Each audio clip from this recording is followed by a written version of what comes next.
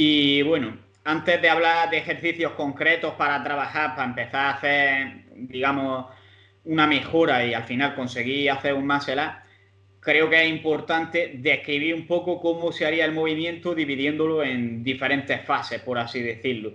¿Podría explicar cuáles serían estas fases? Por supuesto. ¿Aquí vamos a incluir vídeo o...?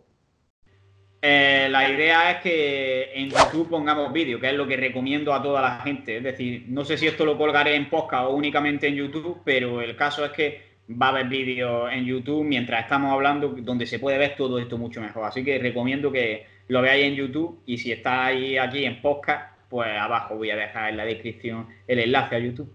Perfecto, pues mientras que vamos hablando seguramente aparecerá un vídeo de haciendo un Ring Muscle Up en, a cámara lenta.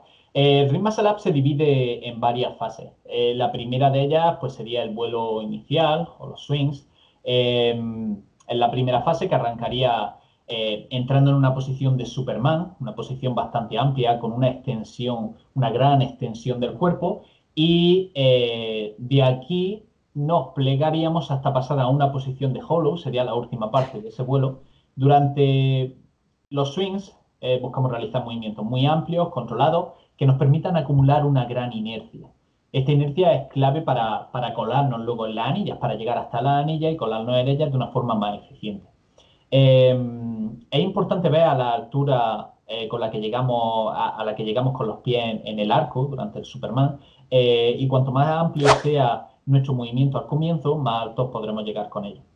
Por supuesto, buscaremos realizarlo con, con las piernas juntas si empezamos a practicarlo. Eh, es un aspecto clave porque realizarlo con las piernas juntas o incluso con un zapato que agarremos con, con ambos pies nos permitirá crear una mayor conexión entre el core piernas, brazos y viceversa. Y, bueno, la mirada al frente siempre. No, esto, es bastante importante, tener la mirada al frente o hacia arriba, no mirar al suelo. Entiendo que muchas personas que empiecen a practicar esto quieran mirar al suelo por, propia protección, ¿sabes? De forma, de forma natural.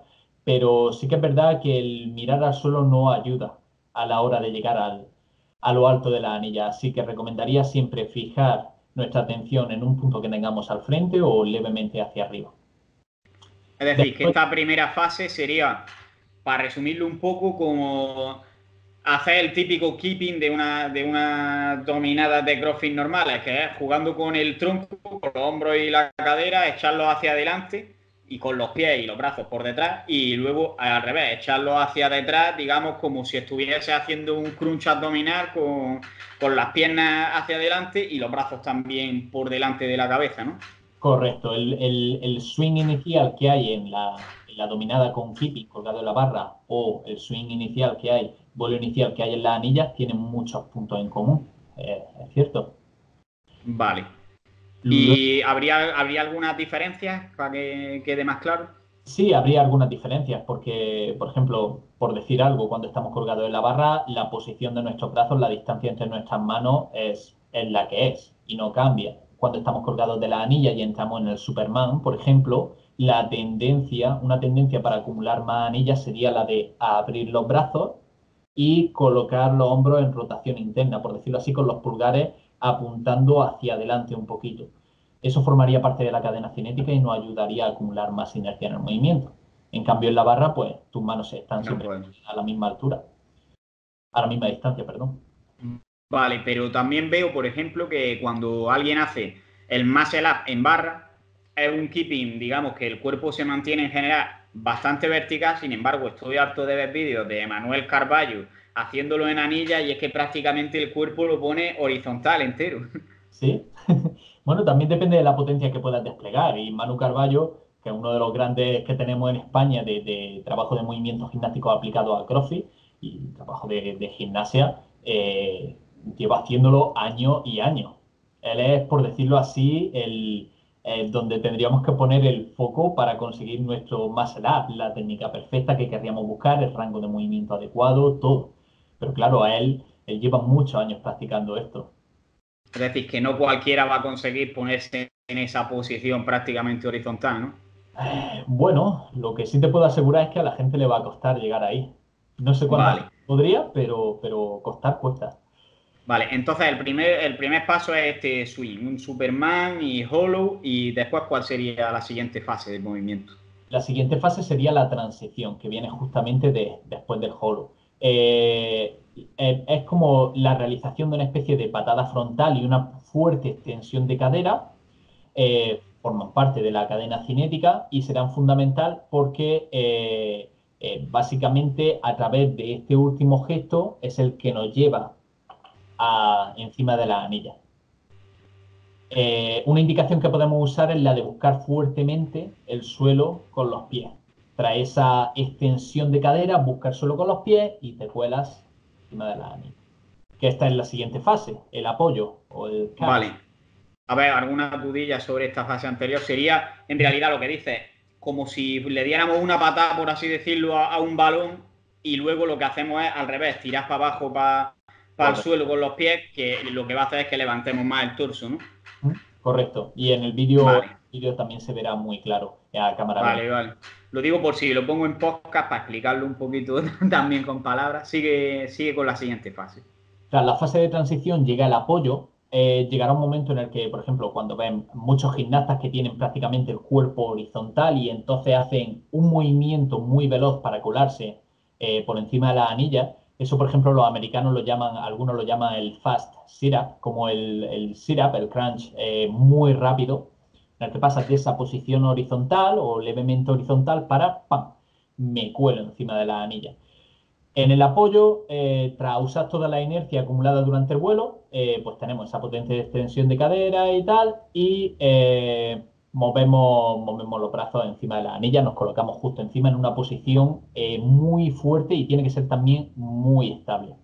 ¿Vale? Eh, ¿Cómo podemos hacer que esa posición sea fuerte y estable? Teniendo la anilla muy cerca del cuerpo, con, por decirlo así, con los pulgares tocando el pecho, en contacto con el pecho. Esa podría ser una posición fuerte y estable. Eh, y estabilizaríamos todo el sistema conformado por el atleta y la anilla. Y, bueno, en esta posición estable, en el que probablemente tengamos las piernas un poquito plegadas, estemos como un poquito en una posición de hollow, eh, eh, básicamente las piernas ahí empiezan a moverse hacia atrás, eh, como porque es la antesala a una extensión de todo nuestro cuerpo para hacer el keeping y llegar a extender los brazos. Esta es la siguiente fase, la extensión con el keeping. aquellos que sabéis hacer perfectamente un ring dip, un fondo en anilla, pues esta sería la eh, siguiente parte y la haríamos con cierto keeping para ser eficientes, a no ser que queráis trabajar de forma totalmente estricta. ¿Algo que quieras comentar del tema del apoyo? entonces, estamos, eh, hemos hecho el swing y, y, después la transición, que es esa pata al balón y el movimiento con los pies hacia abajo para intentar impulsarnos hacia arriba, digamos. Lo que tendríamos que hacer en ese punto sería, digamos, tirar con los brazos como intentando llevarnos los pulgares, los pulgares al pezón para quedarnos ya con los, digamos, con los brazos por encima de, por encima de la anilla en una posición que podamos hacer un fondo. Sí, lo que sí, por decirlo así, con los tríceps por encima de la anilla, los hombros también. Vale. Un poquito. Vale. Y, buscar y una vez y una vez estamos ahí, dices de hacer ya la extensión para llegar hasta arriba que sería como hacer unos fondos en anillas. Y lo que hablas de keeping, entiendo que es este gesto típico que vemos, que es como, digamos, empujar con los pies hacia abajo. Podríamos utilizar ese o podríamos utilizar también un gesto más gimnástico, por decirlo así, con las piernas juntas, en los que pasaríamos de una posición plegada a llevar las piernas hacia atrás, lo cual también notaría cierta inercia, y eso nos permitiría extender totalmente los brazos para marcar bien esa repetición. Eso sería el final del ring muscle up. Cuando tú extiendes totalmente los brazos, se considera que es el final de la repetición y ya cuenta. Vale, creo que, creo que se verá mejor en el vídeo y después de una vez estamos ahí arriba ya, ¿qué haces? ¿Te, te tiras al suelo? ¿Qué haces? Bueno, algo, algo muy común que suele hacer la gente, sobre todo cuando ha conseguido sus primeros, es eh, dejarse caer directamente hacia abajo y eso pues no es tan eficiente porque le hace perder parte de la inercia que podrían acumular durante la bajada.